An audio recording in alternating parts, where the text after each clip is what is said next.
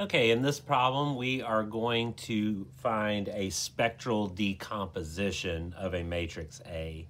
Um, and what a spectral decomposition is, it's first, it's a decomposition. Uh, so basically, we're going to write this matrix as a linear combination of other matrices. Um, but also, uh, the, the matrices that uh, it will be written as a linear combination of, those are going to serve as projections um, of uh, matrices or of vectors that we multiply those by um, in particular directions. So in general, let's say that we find, um, you know, lambda 1, lambda 2, up to lambda n for matrix A. Obviously, there's only going to be two of those here. Uh, but if we find those, um, and then if we find uh, let's call them, I, guess from the last section, they'll be called Q1, Q2, uh, etc. up to Qn. Those are going to be unit vectors um, uh, that, uh, that make up the matrix P. Uh, then if we have those, then the spectral decomposition is going to be lambda 1, Q1, Q1 transpose plus lambda 2 q2 q2 transpose um, etc just finding each of those uh, products and doing the linear combination as um, shown. So remember that q1 through qn are going to be um, n by 1 uh, vectors. So q1 times q1 transpose will actually give me an n by n vector um, so each one of these are n by n vectors. The lambdas, of course, are the scalars, which are real numbers. So we will get a linear combination where the coefficients are the um, eigenvalues, and then these matrices that we get serve the role um, that I mentioned at the top of this video. So let's see how to do that for this. We do need to find, obviously, the eigenvalues for this first. So let's start by setting that up in the uh, the way that we do that. And so what I end up getting when I multiply all this out, the characteristic polynomial is lambda squared plus lambda minus 6. And that is lambda plus 3 times lambda minus 2. So I get lambda equals negative 3 or lambda equals 2. Those are my two eigenvalues. Um, it doesn't really matter what order I do these in, so I'll just start with lambda equals negative 3. If I put that in right here, I'm going to get 4, 2, 2, 1. Um, and then, of course, put the zeros on since I'm solving that homogeneous system. Notice that the top row is twice the bottom row. So using uh, row operations, uh, the one of those rows will zero out. And in fact, um, we could just make this one zero out and we could multiply the top row by one fourth. That way we'll get a leading um, one right there. So this is going to be the um, RREF for this matrix.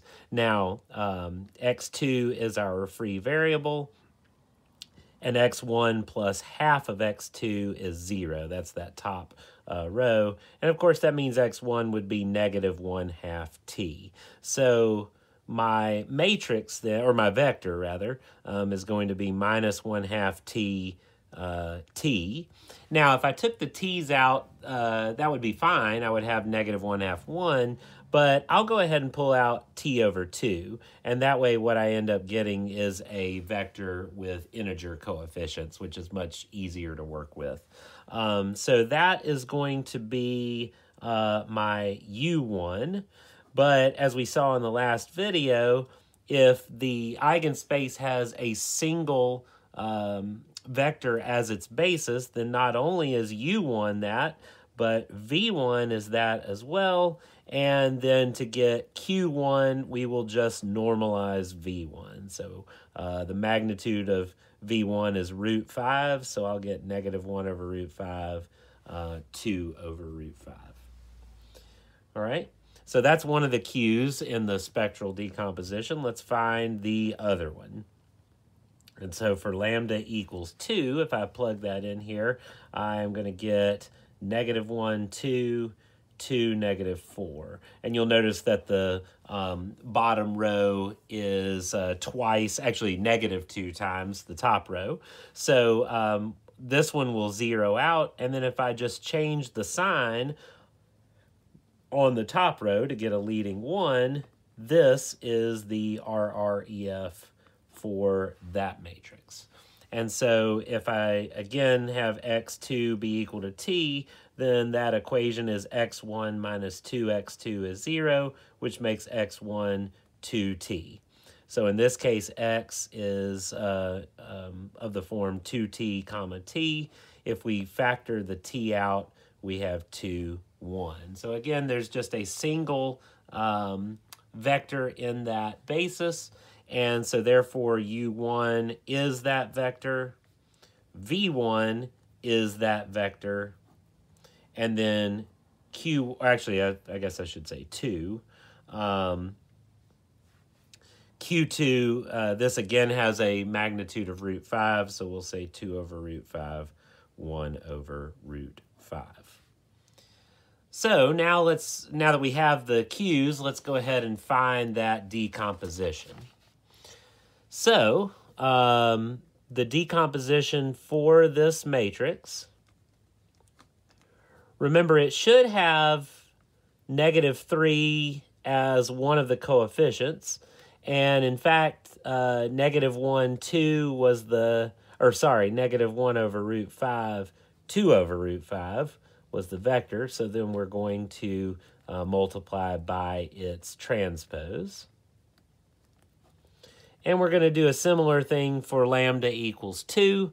Uh, we're going to multiply that by 2 over root 5, 1 over root 5. And then that by its transpose.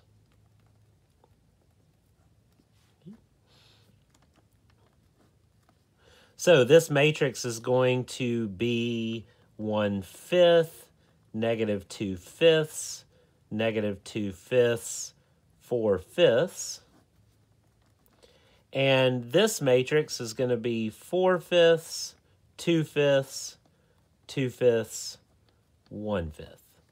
And we can do a quick check just to verify that this decomposition is in fact a decomposition. Uh, negative 3 fifths plus 8 fifths is 5 fifths, which is 1. Uh, 6 fifths plus 4 fifths is 10 fifths, which is 2. 6 fifths plus 4 fifths again is 2 and negative 12 fifths plus 2 fifths is negative 10 fifths, which is negative 2. So this is, in fact, a decomposition.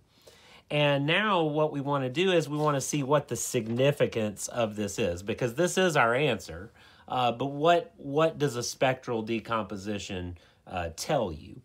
Well, if we were to apply um, this matrix A uh, by any 2 by 1 vector let's just say x, then we know that that will be the same thing as negative 3 times this matrix times x plus 2 times this other matrix times x.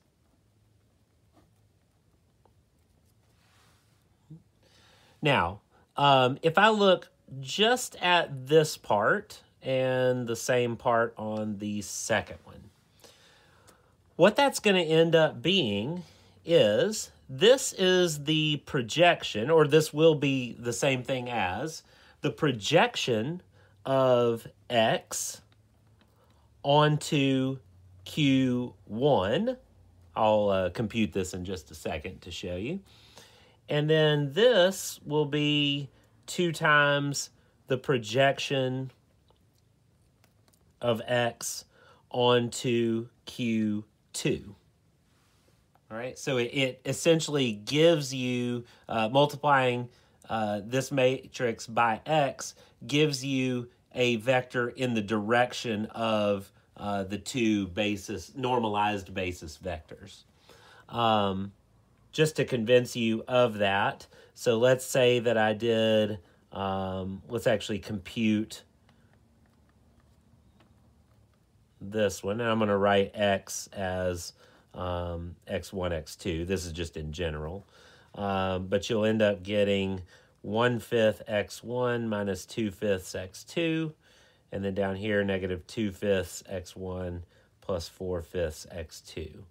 Now, to convince you that that's the same thing as projecting, uh, let's project x1, x2 onto the vector. Let's see, q1 was minus 1 over root 5, 2 over root 5.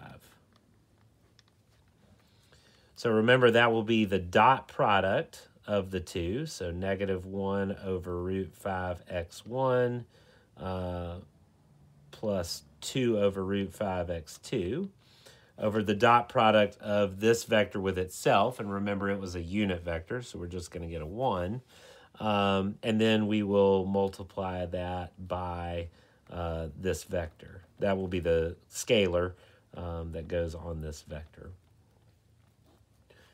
And so notice that if I were to distribute this across to both components, I would get 1 fifth x1 minus 2 fifths x2. And then down here, negative 2 fifths x1 plus 4 fifths x2. And you can see that that is, in fact, the same thing uh, that we ended up with when we just multiplied uh, by this matrix. Um, I'm not going to do the second one, but it'll work the exact same way uh, if we were to compute that, except it'll be the projection onto Q2, which for this problem was, um, here it is, 2 over root 5, 1 over root 5. Um, so that's what a spectral decomposition would tell you. Not only is it a decomposition, uh, but it's a decomposition into essentially projections, essentially saying, let's decompose so that it would be um, essentially uh, applied to a vector would be in the direction of one of the normalized basis vectors uh, plus the other one. Uh, but again, uh, just to recap, this was the answer for this particular problem. The rest of it was just checking and seeing what that ends up being. So um, I hope that makes sense. And if you have any questions, please let me know.